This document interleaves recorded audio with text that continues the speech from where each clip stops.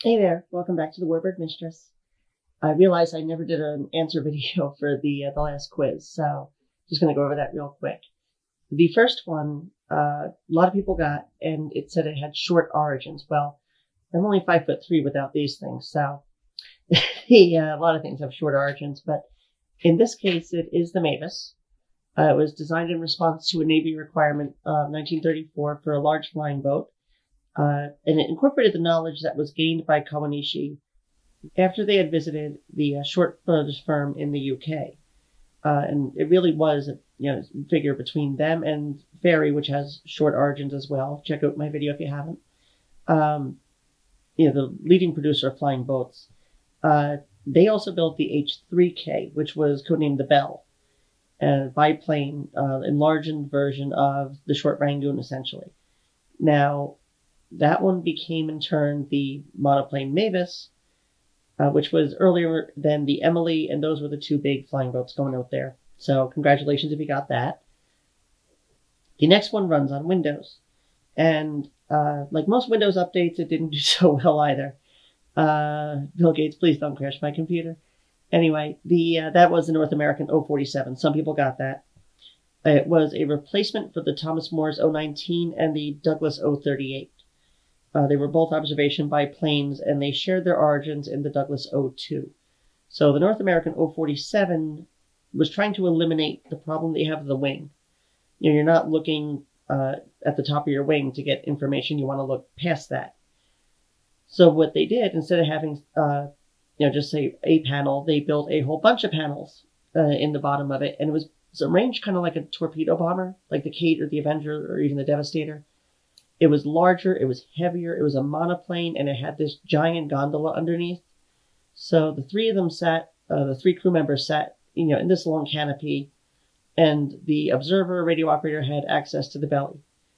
So the uh, the windows that were in there allowed a better downward view, photography, uh, but they ordered uh, in 1937, 1938, uh, 174 of them. Of those, 93 were earmarked for the National Guard. And then in 1938, they ordered another 74 O-47Bs.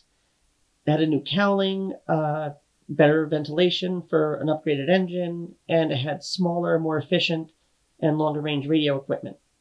Now, the problem was is that when they went to the Louisiana and they went to the Carolinas, for the maneuvers before the war, the O-47 just didn't didn't hack it. Uh, it was okay its job, but it wasn't really what they needed in an Army cooperation platform. That doesn't mean that she had a short career. She actually went on into the war as a patrol aircraft and anti-submarine platform. So, in fact, if you follow the uh, walk through the war, which uh, if you want to pick it up in December, then the seventh is the day. Uh, definitely follow that through, and you'll see the O-47 was in a lot of places. Now, another monoplane that some of you guessed correctly, some of them were a little off. It's, it's hard. It is harder to tell from a top-down view.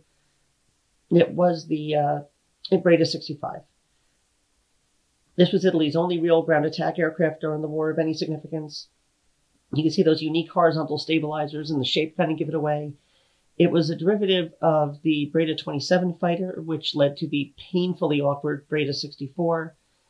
And the 65 never overcame uh, the Breda 64's problems. It inherited a lot of the physical qualities, um, especially like the cockpit's far forward placement, uh, but it also inherited most of the negative qualities. Uh, the real issue in the design was that she just wasn't really structurally capable of doing her role. She was underpowered. Her uh, Fiat A80 engine was just terrible. It uh, she wasn't really able to put up with anything past Spain. In fact, I think 11 or 12 were lost in Spain. Uh, they left a dozen, was, I think a dozen, with the Spanish Air Force. Uh, and they actually hoped to replace them before the war ever came. But she was kept in service by really just lackluster Italian options. The Caproni CA-130, um, just didn't really hack it as an attack aircraft. The Savoia-Marchetti, the SM-85, was less than desirable. And then there was the stupefyingly poor performance of Breda's BA-88 Lince. It was anything but a Lynx. It was just, I mean, it wouldn't even take off in its original configuration with its weapons and everything. so the BA-65 was kept in service through East Africa and North Africa. Uh, eventually, it was just replaced by fighters, uh, as well as you know the ubiquitous SM-79 Sparviero, and of course the Junkers Ju-87 Stuka.